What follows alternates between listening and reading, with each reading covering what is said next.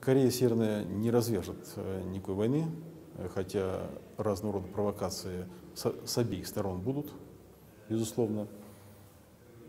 Любые подобные истерики, они есть э, ход в совершенно другой игре. Ход, повышающий, стремящийся повысить статус той же Северной Кореи и Южной Кореи, как внутри своих стран, так и на международной арене. Поэтому это такая интересная и опасная игра.